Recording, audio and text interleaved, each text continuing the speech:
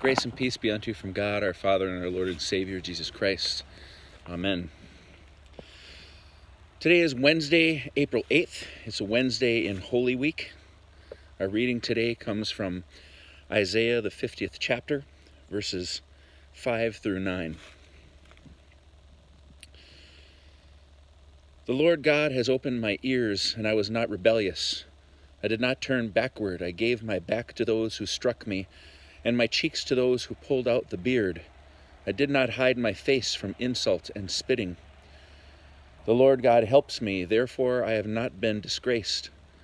Therefore I have set my face like flint, and I know that I shall not be put to shame. He who vindicates me is near. Who will contend with me? Let us stand up together.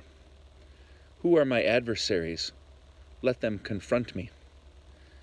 It is the Lord God who helps me. Who will declare me guilty? Let us pray. Almighty God, your Son, our Savior, suffered at human hands and endured the shame of the cross.